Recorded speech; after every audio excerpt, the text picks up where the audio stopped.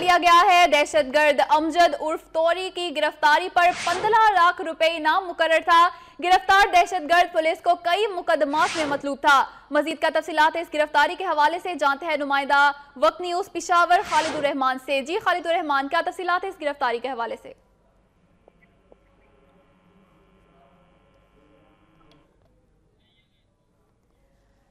Counter terrorism department کی کارروائی کے حوالے سے آپ کو اپڈیٹ کرے کہ پشاور میں کوہاٹ روڈ پر کارروائی کی گئی ہے اور اس کارروائی کے نتیجے میں دہشت گرد گرفتار کر لیا گیا۔ مزید کا تفصیلات ہیں، اس گرفتاری کی جانتے ہیں نمائندہ وقت نیوز پشاور خالد الرحمان سے۔ جی خالد الرحمان جی بالکل سی ٹی ڈی نے یہ کامیاب کاروائی کو ہارٹ روڈ کے علاقے میں کی اور اس کے دوران امجد اور توری نامی دہشت گرد کو حراست میں لیا گیا ہے۔ اس حوالے سے جو سی ٹی ڈی حکام ہیں ان کی جانب سے بتایا جا رہا ہے کہ دہشت گردی کے متعدد وارداتوں میں دہشت گرد مطلوب تھا، جس کی گرفتاری کے لیے مختلف مقامات میں کاروائی جاری تھی۔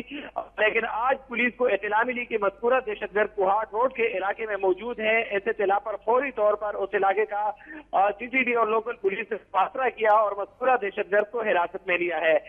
سی ٹی ڈی حکام کی جانب سے یہ بھی بتایا جا رہا ہے کہ گرفتار دہشت گرد کی صوبائی حکومت نے سر کی قیمت پندرہ لاکھ روپے مقرر کر دی۔ تاہم گرفتاری کے بعد مزید تفتیش کے لیے گرفتار دہشت گرد کو نامعلوم مقام پر منتقل کر دیا گیا ہے۔ جی نامعلوم مقام پر منتقل کر دیا گیا ہے۔ خالد الرحمان آپ کا شکریہ، آپ نے ہمیں اپڈیٹ کیا۔